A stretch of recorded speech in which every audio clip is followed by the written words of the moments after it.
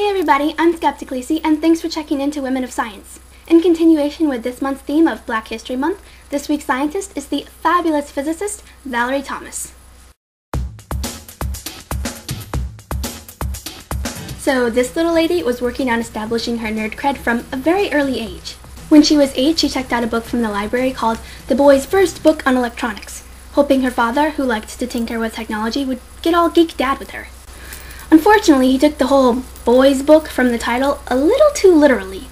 He didn't think that girls should be doing science. I'm sure much embarrassment ensued in later years. So Miss Thomas ended up attending an all-girls school, which was not so spectacular about encouraging math and science. Like many young girls, Valerie was left to try to nurture her love of science with little more than self-education. But that all changed in college. Valerie attended Morgan State University and was one of only two women in her class to major in physics. Miss Thomas started out her career in 1964 as a mathematical data analyst for NASA. While working at NASA, Ms. Thomas acted as the project manager for the development of their imaging processing system on Landsat, which was the first satellite to send images from outer space.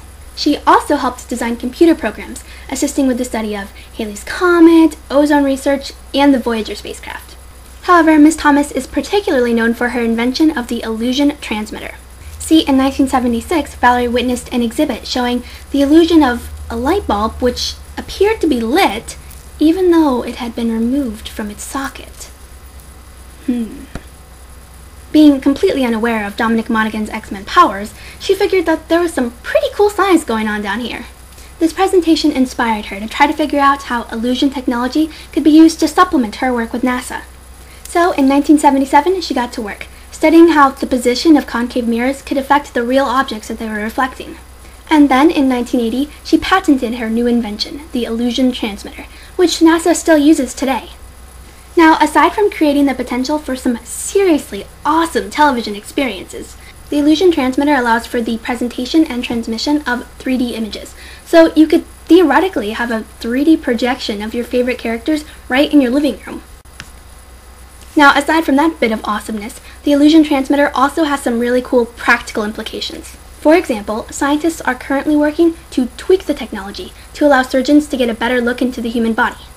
A plus Valerie Thomas. Ms. Thomas worked in various positions for NASA, such as the project manager for SPAN and the chief of the Space Science Data Operations Office before her retirement in 1995. She now works as an associate for the UMBC Center for Multi-Core Hybrid Productivity Research and she is a youth mentor with Smart Inc. and the NTA.